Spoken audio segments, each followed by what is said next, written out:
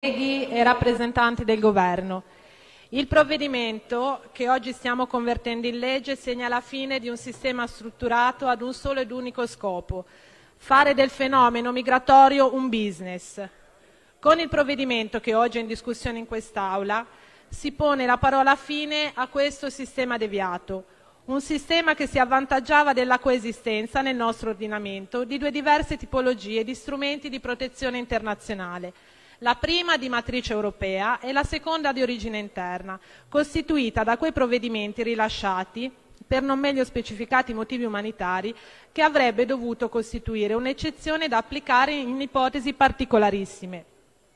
Proprio attraverso questo secondo strumento è stato possibile procedere ad un'emissione di massa di permessi umanitari che ha portato, come, conferma, come, confermano i dati ormai tristemente consolidati degli ultimi anni, ad una crescente sproporzione tra i riconoscimenti di protezione internazionale disciplinati a livello europeo e il numero di rilasci di permesso di soggiorno per motivi umanitari una prassi dettata dall'interesse ad assicurare la più lunga permanenza possibile degli immigrati che sbarcavano numerosi, grazie, ahimè, all'aiuto delle ONG e degli altri trafficanti che hanno trovato nel bacino del Mediterraneo la loro valle dell'oro.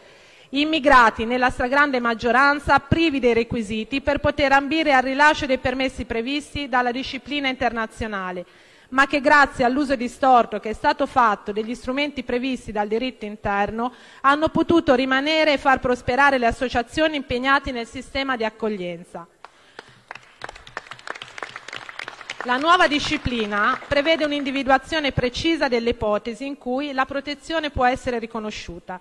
sancendo così la fine di quel sistema di falso moralismo e di evidente opportunismo economico che ha così duramente colpito il tessuto sociale delle nostre comunità, garantendo al contempo una tutela effettiva ed efficace ai soggetti che ne hanno realmente diritto e necessità.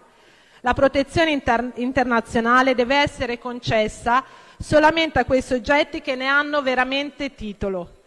Si contesta poi che il provvedimento licenziato dal Governo e dal Ministro Salvini abbia l'effetto di produrre un elevato numero di irregolari. Nulla di più falso.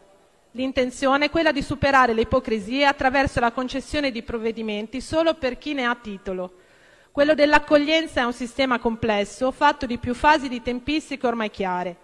È noto dalle relazioni tecniche del Ministero che occorrono mediamente cinque mesi per il completamento delle procedure necessarie all'accertamento dell'identità e nazionalità degli irregolari e all'acquisizione dei necessari documenti di viaggio per il rimpatrio. Con la legge 161 del 2014 il trattenimento fu abbassato nel limite di non oltre 90 giorni, rendendo di fatto impossibile procedere all'effettivo rimpatrio degli stranieri irregolari, una situazione che oltre che prevedibile era anche ampiamente aggirabile, ma che i governi del PD hanno preferito gestire emettendo a cascata permessi umanitari a chiunque ne facesse richiesta. Mi rivolgo alla senatrice Bonino per dirle che nel 2000 noi abbiamo trattato di badanti e di colf. Oggi con questo provvedimento noi stiamo parlando di spacciatori, non di badanti, di spacciatori. Questo è un blef a spese degli italiani, un blef per giunta costoso, dato che poi il sistema si completava con i progetti di accoglienza meglio noti come SPRAR, per intendersi quelli dei 35 euro al giorno a favore delle coppe e delle ONG leader indiscussi di questo munifico business. Un sistema sapientemente regolato per garantire una lunga permanenza da parte del più ampio numero di soggetti accolti a spese dei cittadini,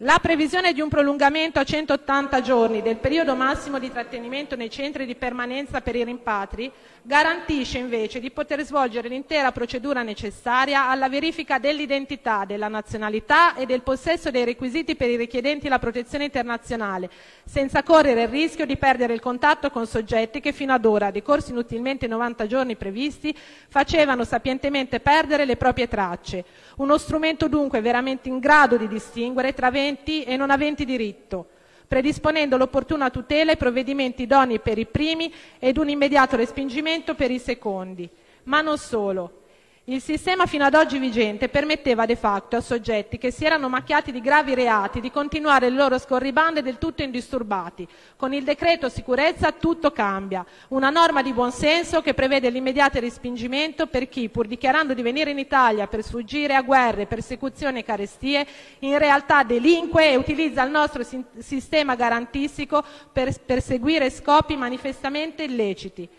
Perché se è vero che un reato commesso da un italiano o da un richiedente asilo ha in sé il medesimo disvalore, è altrettanto vero che se a delinquere è un soggetto che viene chiedendo ospitalità e protezione, allora è evidente come questo debba essere rimandato indietro con la garanzia che non possa più tornare.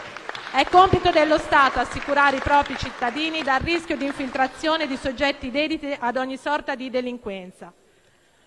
Questo provvedimento è ad ampio raggio